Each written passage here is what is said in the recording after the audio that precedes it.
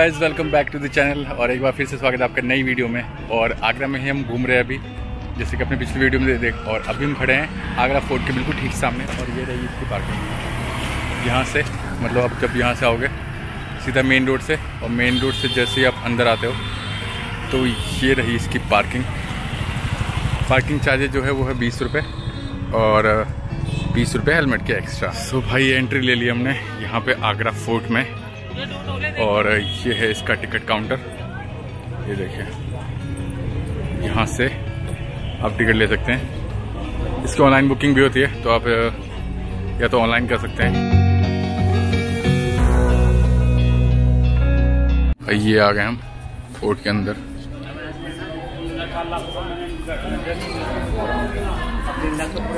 यहाँ पे जो है, पैंतीस रुपये की टिकट है एक, और दस रुपये आपको एक्स्ट्रा टैक्स देना पड़ेगा। यहाँ की सरकार को। मतलब म्यूनसिपल टैक्स है दस रुपये एक्स्ट्रा जो कि कहीं भी मेंशन नहीं है। तो आइए सीधा अंदर चलते हैं।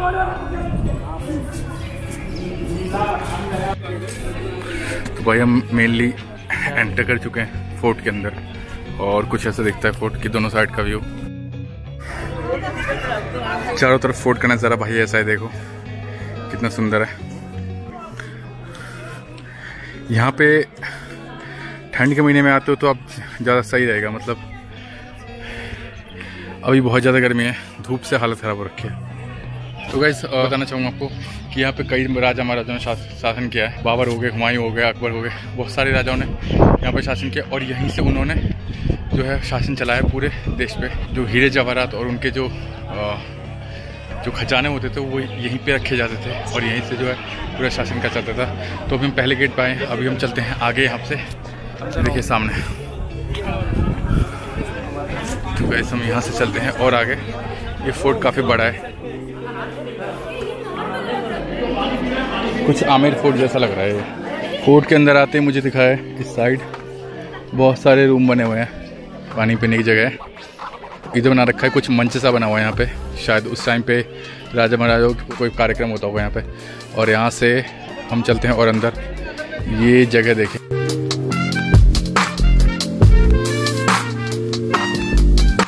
मुगल शासक रहे हैं। वो यहीं से अपना राजपाट चलाते थे और सारा खजाना भी यहीं पे रखते थे। तो ये आगरा फोर्ट जो है, उनकी राजधानी हुआ करती थी। भाई चलते हैं। बहुत गर्मी लग रही है, थोड़ा पानी पी लेता हूँ। भाई, ये जो है फ़र्स्ट पहली बार जो बना था ये फोर्ट वो कहीं एक हज़ार इक्यावन ईस्वी में जाकर बना था उसके बाद सिकंदर लोधी और बहुत सारे मुस्लिम राष्ट्रों ने जो है इस पर शासन किए हैं। तो भाई, ऐसा कहा जाता है कि जब शाहजहाँ की मृत्यु होने वाली थी मतलब जब उसके बेटे औरंगज़ेब ने इसको कैद कर लिया था तो यहीं पे ला के रखा था। मतलब फोर्ट की दूसरी साइड में, जिधर अभी आपको लेके चलूँगा मैं तो उधर जो है उनको कैद करके रख लिया था। और मतलब कारावास में बट वो कारावास उसको नहीं बोल सकते क्योंकि एक रूम था वो, जो कि कारावास टाइप का नहीं था तो जो जो अंतिम दिन थे, शाहजहाँ के, वो यहीं पे बीते, ठीक है?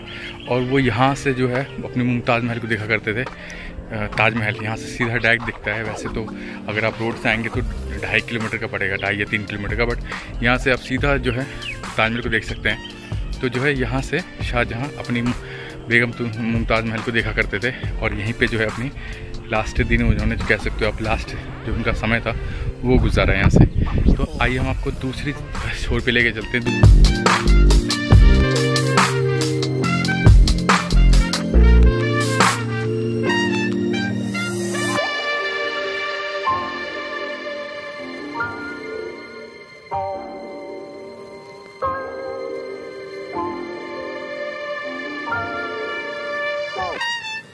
पे तोप भी रखे हुए हैं।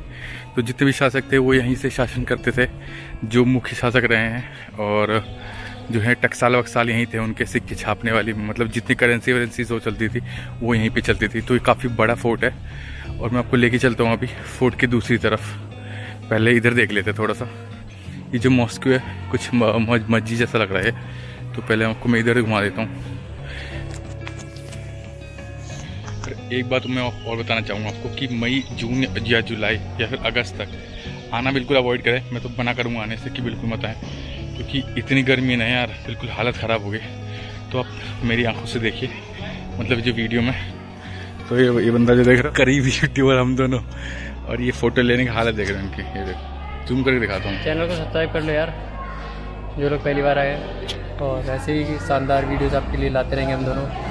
हम दोनों भाइयों का प्यार है और हम लोग जहाँ भी जाते हैं साथ में जाते हैं। तो अभी एक सरप्राइज़ वीडियो आने वाली है नया चैप्टर तो मुझे नहीं पता मुझे पता ही पहाड़ों का हाँ पहाड़ों का ही मेरी वीडियो कट कर देंगे कोई दिक्कत नहीं है। कट नहीं करूँगा। भाई यहाँ से खुफिया रास्ते बने हुए यार। देखो मीना बाज़ार चलो फिर मीना बाज़ार देखते हैं गाइस भाई ये आ गए हम हेवन में। मतलब एक और रास्ता निकला है यहाँ से। और ये है किला काफ़ी बड़ा है यार मतलब कि ये देखो।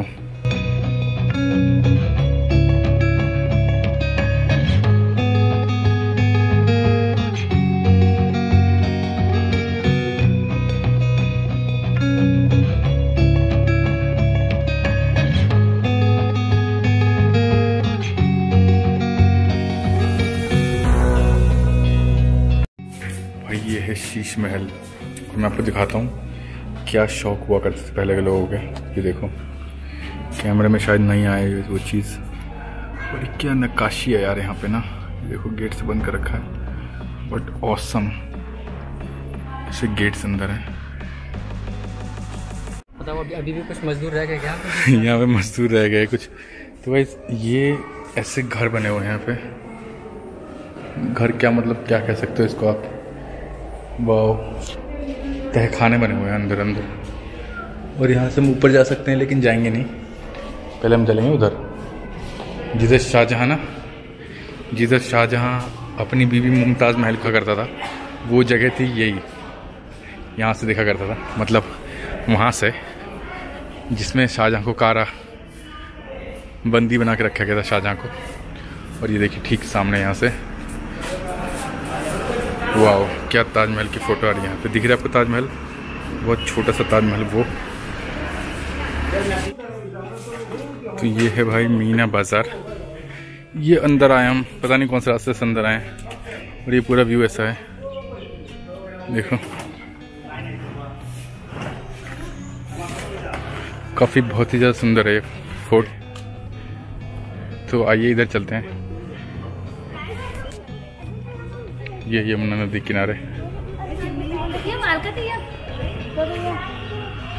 और इसकी जो दीवारें हैं, वो ऐसी हैं, यहाँ पे सैनिक खड़े रहते थे। ये देखिए।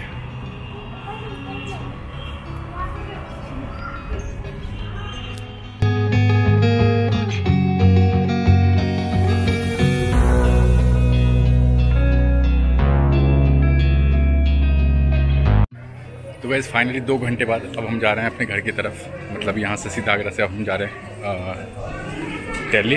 और हमें यहाँ पे दो घंटे हो गए, दो घंटे से ज़्यादा हो गए तो आप कभी भी घूमने आते हैं तो आपको यहाँ घूमने में कम से कम दो घंटे लगेंगे। और यहाँ पे एक बात मैं बता दूँ कि उस टाइम पे जब शाहजहाँ को यहाँ पे कैद किया था तो शाहजहाँ ने सुरंग बनवाई थी उससे पहले।